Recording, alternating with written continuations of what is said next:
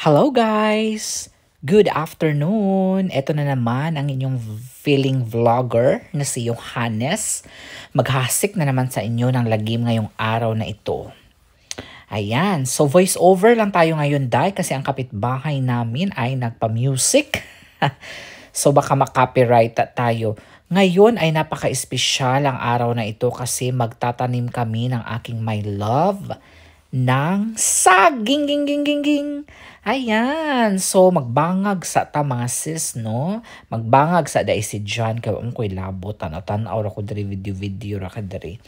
So, naami duha ka saging nga gihatag sa among siling. Oy, Bisaya naman lagi ni. so, naami duha ka saging Ayan, or banana. Ayan, galing ito sa aming kapitbahay, mga day, binigay sa amin. So, ito na, mga day. Ang dami kong satsat, no? Pero kasi voice over lang tayo ngayon eh. so, kailangan talaga magsalita tayo ng magsalita kasi ang pangit naman, wala din akong background. Wala pa akong na-download ng mga music dito sa aking uh, cellphone, mga day, no? So, kung ano-ano na lang ang ating sasabihin. So, nilalagyan ni Jan ng water yan, mga day, as you can see kasi para mabilis siyang mabungkal, no? Ayan, nakikita nyo, kukunin ko na ang saging. Mura siyang na massacre ang saging, mga dino. kasi malaki kasi na saging yan eh. So, hindi siya magkasya sa sasakyan. So, ayan. O, oh, tignan nyo, ilalagay ko na. Ayan. Tapos, nakapaalang tayo dyan mga day ha. Kaya walang arty-arty. Kahit nasa Amerika ka na mga day, wala kang arty-arty. Ayan. Ngayon, dalagyan na ni dyan ng... Uh, actually guys, parang masabi nyo na parang balas yan. Balas is parang sand, ba diba? Buhangin. Ang aming lupa dito mga day, parang mabuhangin. So, hopefully, tutubo ito ng bongga ang ating saging mga day. Ay, excited na ako mga day. Ilang months lang ito siguro. Siguro hindi naman naabutin ng one year ito mamunga na ito mga day. So ayan, um, so marami na talaga kaming prutas dito. 'Di ba nakita niyo nung nakaraan, meron tayong star fruits. Tapos meron din tayong papaya. Ayan. Tapos, meron tayong mangga. Ayun, uy, namunga na din pala ang mangga natin. That's a good news, mga day. Ayan, parang napagod na ako dyan, mga sis. Ayan. So, laban lang tayo, no? Ayan. Excited na talaga ako. Diyos ko, pag namunga itong saging natin, tapos meron tayong ginamos, mga day. Ayan. Yummy na yummy talaga ito. Ayan. Bibigyan ko kayo ng quick tour mamaya sa ating mga ipinagmamalaking prutas dito, mga sis. Ayan. Tapos na. Ayan. Tignan nyo. Ang pangit ng voice over. Uy!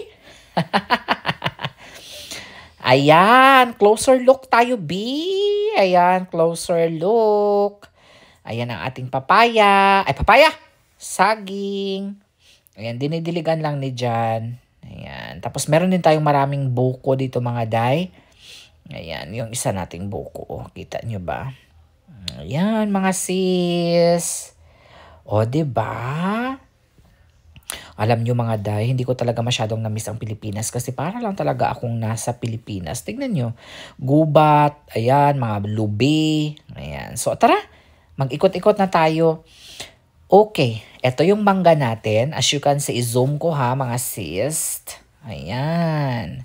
Ayan, oh, meron na siyang mga bunga, mga day. So, abangan nyo yan. Mga August daw yan. Ayan din yung papaya natin. Madami pa din. Tara, ikot tayo sa bahay. Orchids. Ayan. San Francisco. Ayan. Tara, ikot tayo. Ayan, kapitbahay namin yan. Si Will. Meron din tayong lily. Ayan. Kalamunggay na mo. Baga, kaayo mong kalamunggay.